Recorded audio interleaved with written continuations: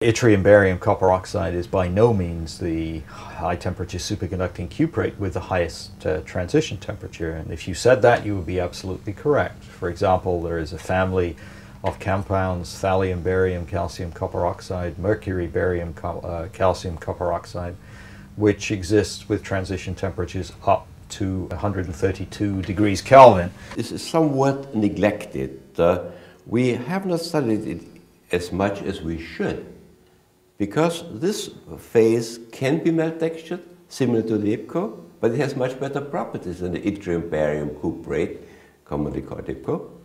Uh, even at the temperature when um, YBCO will not be superconductor anymore, let's say about 92, 93 Kelvin. So it's, it's very, very important that we find the proper heat treatment conditions. I must add that the um, mercury and thallium-based superconductors can be used in thin films and also in space. There is the issue of the uh, safety and uh, we will never be allowed to use mercury-based compounds or thallium-based compounds in applications.